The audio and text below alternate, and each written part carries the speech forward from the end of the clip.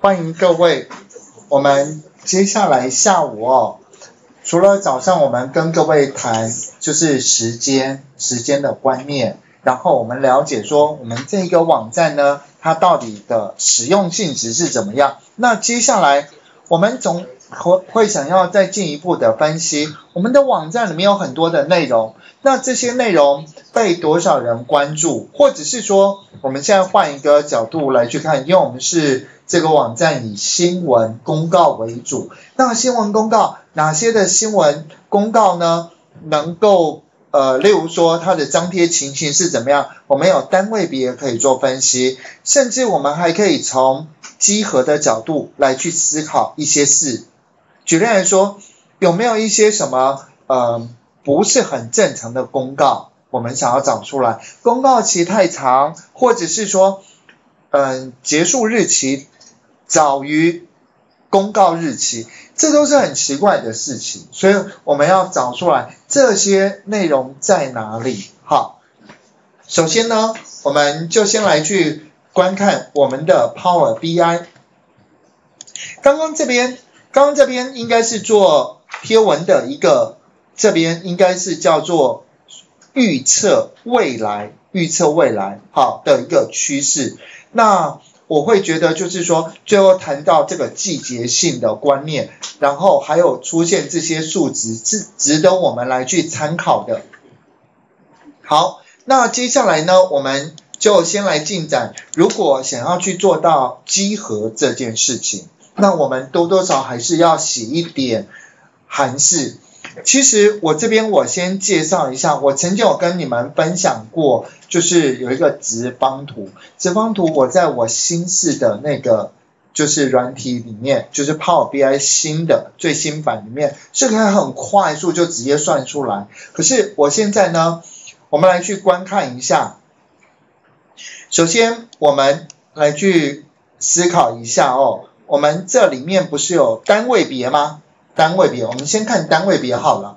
有时候我们可能想要分析哪一个网站，哪一个这这个网站呢？哪些单位来去使用，来去张贴新闻最多？好，多多多达多少的程度？那我们现在就来去分析，这是文字，文字照样可以去做次数的分析。那我们先来看怎么做到这件事呢？首先，一单位别，好，这个应该叫做贴文公呃公公告新闻的一个贴文预测。那我们现在来去看哪些单位来使用我们这个网站，哪些单位？那既然是单位别的话，请问一下，我们第一个应该放是 department name 这边，当我们放都是文字，而且很多项的时候，他会认为说这里面没有一个统计图适合，他就用这一个，这个应该是属于就是资料的呈现方式，资料，所以这边就是单位别。可是请问我们会不会想要知道说什么单位张贴什么新闻？好，所以这个时候呢，我们是不是可以把 news title 勾选？它会把 news title 因为都是文字，所以放在值这个地方，所以我想应该没有问题。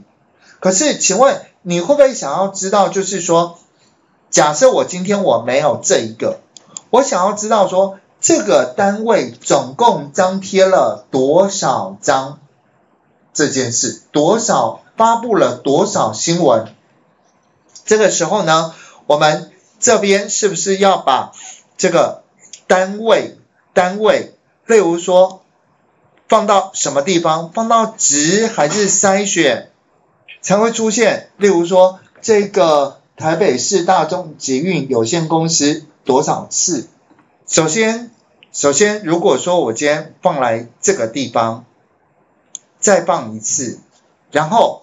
把它改成这边有一个计数，它是不是就变成一个次数的呈现？因为计数也算是值的一种嘛，只是它只能算文字类。嗯，好像比较少人会去算三出现几次，哦，除非你要去做几率统计，那个丢骰子，例如说我丢一千次，丢一千次再一次，然后一出现几次，二出现几次，你是不是要写一个随机公式？好，先不谈那个。可是我们这边有很多同学，他在这个地方哦，在这个地方，我们刚刚是不是有讲，就是说我想要计算他贴完几次，那是不是就变成这一个单位总共贴了多少次？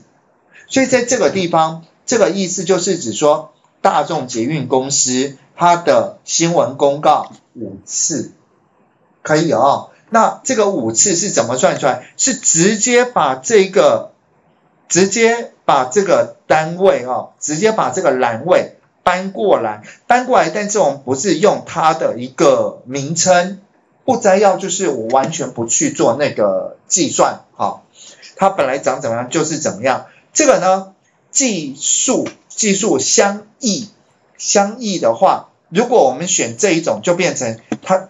呃，单一性的出现，那这个技术就是它只出算一次，就是说大众捷运公司就不是五了，就变成一了。好，那这个呢，这个技术就是计算它出现几次。你看，像我现在改成技术相异，它就变全部都是一，就是它就算出现五次也算一次。这可以用在什么地方？它给你功能，但是你不会用，你也等等于就是没有给你功能。好，有时候我们再去算，就是这个单位啊，就像那个使用者，这个使用者，如果他去很多个网页观看，他还是只算一个使用者。可是，在算工作阶段的时候，是不是就要算很多？他去了很多页嘛？可以了解吗？因为在有时候我们在算那个单位数哦，单位数。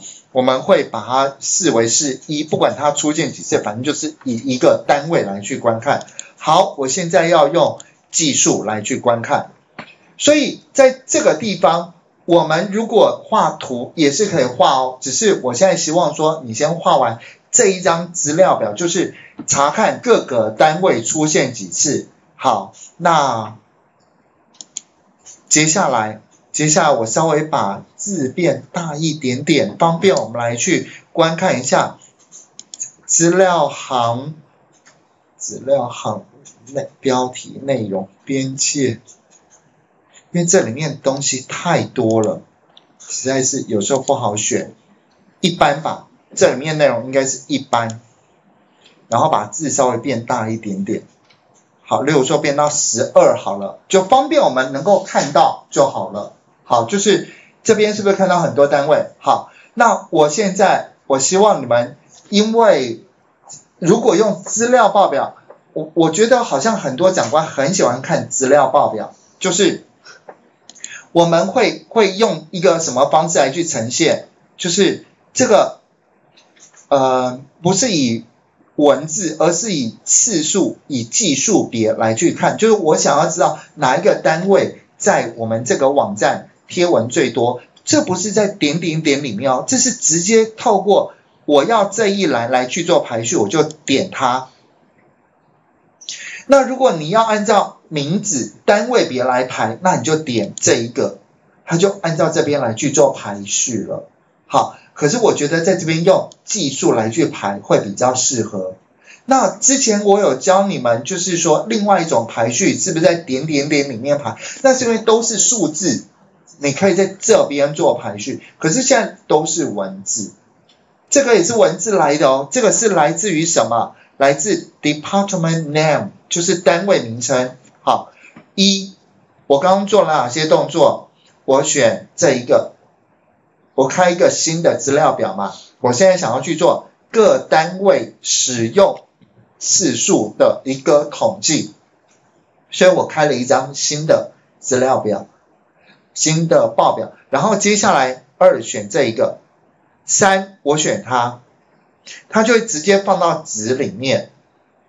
再接下来再拖移这一个放到纸里面，只是要把它改成是计数的方式来去呈现，你就会做完这样一一张报表了。然后请把它排序，第五个动作就点这个地方。点这个栏位名称，这个 department 的技术，记住哦，这是 department name，这是 department name 的技术。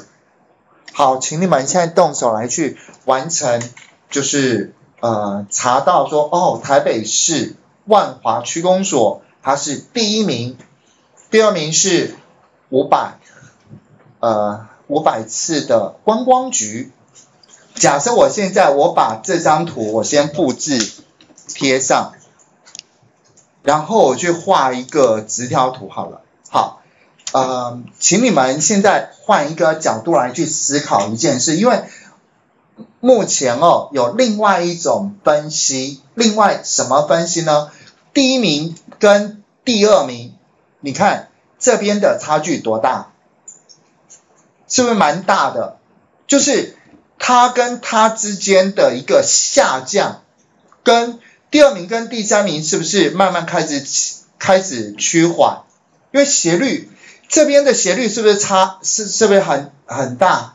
可是这边斜率是不是就变成这样子了？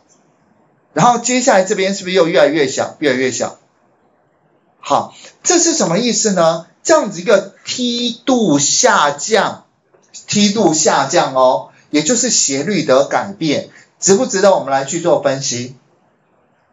如果说斜率的变化集中在某几个单位，像例如说这个单位代表发文很多，好，那如果很多，我们是不是请他就是说，请他们再做一个专属于他们自己的新闻公告？好，还有。他发文的内容，新闻内容是什么？是不是值得我们来去思考一下？为什么一个单位，例如说好了，你要是说万华区公所，他两年就需要发到七百则的新闻，那请问，那换另外一个区公所，为什么他没有发到七百则，甚至六百则都没有，五百则也没有？为什么？